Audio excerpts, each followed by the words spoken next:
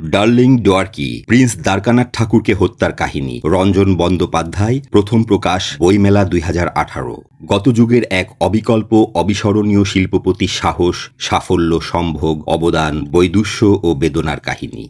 প্যারিসে শীত পড়েছে। প্যারিসে শীত পড়েছে, বেশ শীত। অথচ ফরাসি নারীর শরীরে শীত নেই কেন? অনন্য বাঙালিটির আমন্ত্রণে যে অভিজাত মহিলারা এসেছে নৈশ প্রমোদে যোগ দিতে, তারা সবাই পড়েছে বুক খোলা পোশাক, কারও বেশি খোলা, কারও চিলতে কম। বাঙালিটি লক্ষ্য করছেন, এদের মধ্যে এক রমণীর বুকের আড়াল, বিপজ্জনক কিনারে এসে আরও একটু গড়িয়ে যাবার ইশারা দিচ্ছে অনবরত। এ জিনিস বানাতে পারে শুধুমাত্র ফরাসি দর্জি। তিনি নিজেকে প্রশ্ন করেন, কিসের এই গরমই? নিছক কামনার গরম? পার্টি শুরু হয়েছে প্রথম রাতে, এখন রাতের শেষ প্রহর। এতক্ষণ মহার্ঘ সুরাস্রোতে ভেসেছে আমন্ত্রিত নরনারী। ক্রমশ স্খলিত হয়েছে আচরণ, আলগা হয়েছে সংলাপ, টলমলে হয়েছে উচ্চারণ। চির ধরেছে সংকোচে, মুক্ত হয়েছে দ্বিধা। ঝাপসা হয়েছে শ্লীল, অশ্লীলের বিভেদ। যা বলতে নেই, করতে নেই, একরকমের রোমান্টিক বন্যতা তাও কি অবলীলায় মিশে যাচ্ছে চর্চিত আভিজাত্যে? পরজয়ের গালে আচমকা মায়াঘন চুম্বন। পরপুরুষের আলিঙ্গনে মিশে যাওয়া নারীর সাবলীল আশ্লেষ। বাঙালিটি নিশ্চিত বুঝেছেন সুরাপানের মাধুর্য বাড়ায় মেয়েদের মাতলামি। তিনি দেশের কথা ভাবেন, কিছু বাঙালি আজকাল দিশি ছেড়ে বিলিতি ধরেছে। ফরাসি সুরা আর ব্র্যান্ডি গিলছে বাইনাচের আসরে। এদের অধিকাংশই স্থূলরুচির অল্প শিক্ষিত বাঙালি। বাপ ঠাকুরদার জমিদারির টাকা ওড়াচ্ছে বেশ্যাবাইজির সঙ্গে মত্ত প্রমোদে।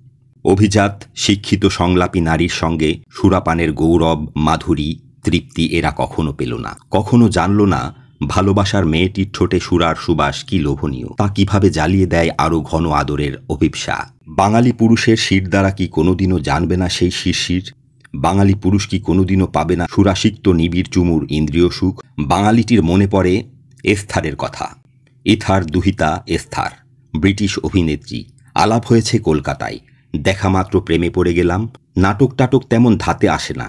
তবু বন্ধুদের পাল্লায় পড়ে যেতেই হলো লেট নাইট শো, আমার জন্য নাকি স্পেশাল আয়োজন।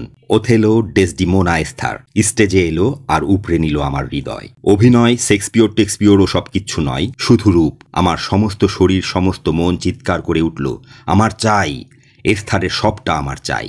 এতটুকু অন্য কাউকে দেব না, সবটাই আমার।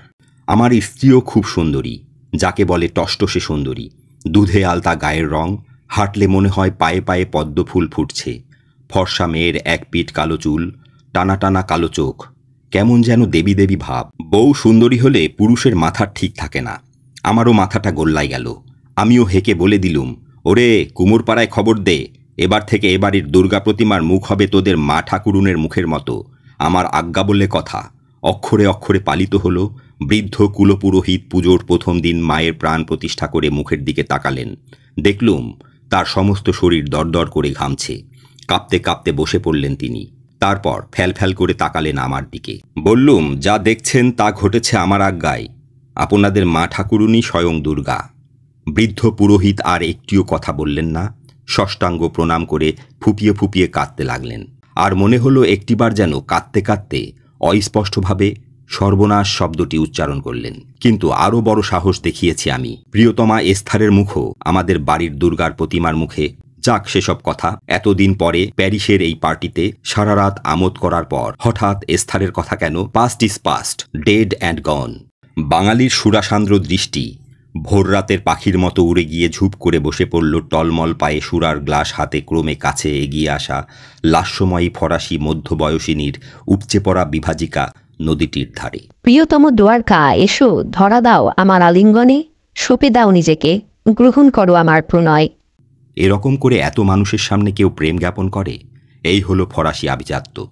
কি নির্লজ্জ কি মেকি কেমন যেন যাত্রা যাত্রা। কিন্তু তক্ষণি দ্বারকানাথ ঠাকুর বয়স আটচল্লিশ। দেখতে পেলেন ফরাসি সুন্দরীর শাখের মতো সাদা বুকের ডান ধারে একটি ছোট্ট ব্রাউন তিল। লাল তিল দেখেছি, কালো তিল দেখেছি, কিন্তু খয়েরি তিল এই প্রথম। আলোর গতিতে ভাবে দ্বারকানাথ ঠাকুরের মন। মনের ইচ্ছে মুহূর্তে চলে যায় তার জিভে। দ্বারকানাথ বলে ফেলেন, যা তিনি বলতে চাননি। I wish I could be that brown beauty spot right there দ্বারকানাথকে নিবিড় আলিঙ্গনে শিথিল নরম উথলে ওঠা দুটি বুকের ওপর টেনে নেয় সুন্দরী। দ্বারকানাথ জড়িয়ে ধরেন সুন্দরীর কোমর। এ কি? যে মেয়ের বুক এমন থই থই যে মেয়ের নিতম্বের ওপর হাজার লাইন লিখতে পারতেন কবি কালিদাস, সেই মেয়ের কোমরে হাত দিয়ে দ্বারকানাথের মনে হল, তিনি যেন একটি ভরপুর ফুলের তোড়ার গোড়াটি ধরেছেন। করসেটের বন্ধন কি আটোসাটো, কি নিষ্ঠুর, নির্মম, সমস্ত কোমরটাকে যেন নিংড়ে ছিবড়ে করে শীর্ণ করে দিয়েছে। দ্বারকানাথের ভারী মায়া হয়।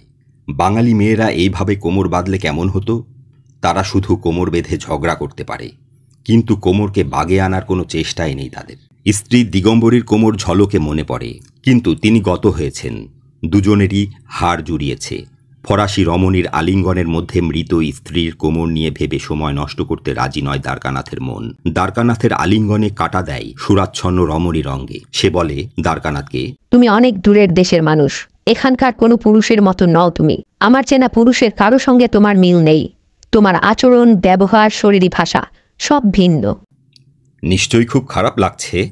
না সারাক্ষণ তোমাকেই দেখেছি দূর থেকে আর মুগ্ধ হয়েছি।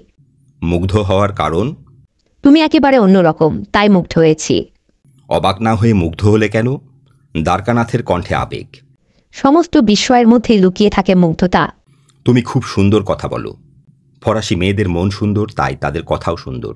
দ্বারকানাথ আর ফরাসি রমণী এতটাই ঘন পরস্পরের সঙ্গে মাঝখানে কোনো বিভেদ রেখা আছে বলে তো মনে হয় না। কি নাম তোমার? নোয়েল। নোয়েল বিবাহিত না অবিবাহিত জানতে চায় না দ্বারকানাথ। এক সুন্দরী লাস্যময়ী টালমাটাল সংলাপময়ী রমণীর নাম নোয়েল। এইটুকুই যথেষ্ট। বোঝো তুমি ফরাসি মেয়ের মন? ফরাসি মেয়ের মন আর বাঙালি মেয়ের মন কত আলাদা। সত্যি বোঝেন কি দ্বারকানাথ? কি চাইছে ফরাসি মেয়ের মন? দ্বারকানাথ আশ্রয় নেন তার সাবলীল কৌতুক বোধে।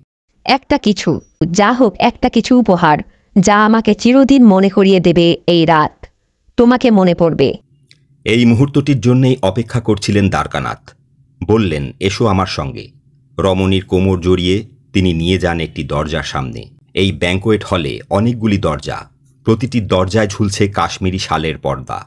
এমন পর্দা ফরাসি নিমন্ত্রিতরা আগে কোথাও কখনো দেখেনি। দ্বারকানাথ সঙ্গে করে এনেছে ভারত থেকে। তারই আজ্ঞায় পর্দাগুলি এমনভাবে টাঙানো হয়েছে, একটু টানলেই যেন খুলে ঝুপ করে নেমে আসে। এক হাত রমণীর কোমরে, অন্য হাতে পর্দায় আলতো টান দিলেন দ্বারকানাথ। আর অমনি সমস্ত পর্দাটা চলে এলো হাতের মুঠোয়। বিদেশি অতিথিরা যে যেখানে দাঁড়িয়ে সবাই স্তব্ধ, দেখছে দ্বারকানাথকে। দ্বারকানাথ অনামিকা থেকে খুলে ফেললেন হীরের আংটি। শালটি ঢুকিয়ে দিলেন আংটির গর্তে।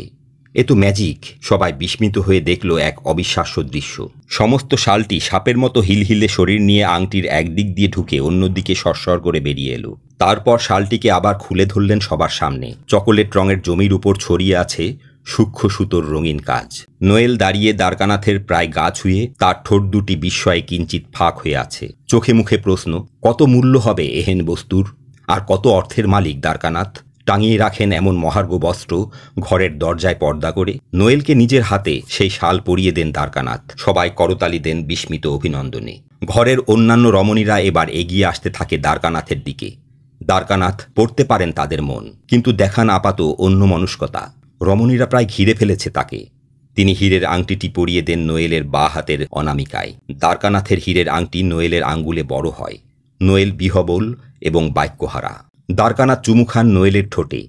লক্ষ্য করেন, শীতের রাতেও তার বিভাজিকায় দেখা দিয়েছে বিন্দু বিন্দু ঘাম। দ্বারকানাথ তাকান এবার অন্যান্য রমণীদের দিকে। তারপর একটির পর একটি পর্দায় টান দিতে থাকেন। ঝুপঝুপ করে খুলতে থাকে অনন্য অবিশ্বাস্য সালের পর্দা। তিনি জানেন, রমণীর সংখ্যা তার পার্টিতে এগারোর বেশি নয়। বিপুল ব্যাঙ্কোয়েট হলের দরজার সংখ্যা কিন্তু নয়। শেষ দরজায় তাই তিনটি পর্দা। এমনভাবে ঝোলানো হয়েছে, মনে হচ্ছে একটাই। দুটো বাড়তি পর্দা চোখেই পড়ছে না। কোনো সুন্দরী বঞ্চিত হয় না দ্বারকানাথের আশ্চর্য উপহার থেকে। সবার অঙ্গেই তিনি পরিয়ে দেন বাতাসের মতো হালকা, অথচ আদরের মতো উষ্ণ শাল। সবার ঠোঁটেই নেমে আসে দ্বারকানাথের ওষ্ঠ স্পর্শ। রমণীরা সবাই বিহবল, এমন সন্ধ্যা তাদের জীবনে এই প্রথম। সন্দেহ নেই তাদের মনে, দ্বারকানাথ টেগোরের মতো অভিজাত সুন্দর পুরুষ তারা দেখেনি। একটি অস্পষ্ট বেদনাও তাদের কষ্ট দিচ্ছে। নোয়েল কি ভাগ্যবতী! শালের সঙ্গে হীরের আংটি শুধু সেই পেল।